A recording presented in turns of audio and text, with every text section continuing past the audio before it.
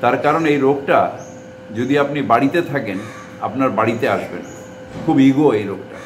এই রোগটাকে রাস্তা দিয়ে ডেকে বাড়িতে যদি কেউ নিয়ে আসে, তবে এই রোগটা বাড়িতে ঢুকবে।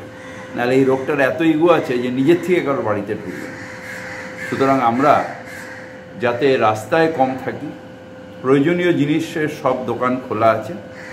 একসাথে হই হই করে সবাই মিলে না গিয়ে ওষুধের দোকান, সবজির দোকান এগুলো খোলা হয়েছে কালকে নিজে মুখ্যমন্ত্রী আমার আদেশ দিয়েছে যে মাইকিং করে দেওয়া হবে। সকাল থেকে এই মার্কেটগুলো যে আতঙ্কিত হবার কিছু নেই। দোকানপাট খোলা আছে, সেখানে আস্তে আস্তে যান। নিজেরা সারাদিন ধরে জিনিসপত্র কিনুন, দুধ, সবজি নিত্য প্রয়োজনীয় সব রকম জিনিস, মুদির দোকান সব খোলা আছে।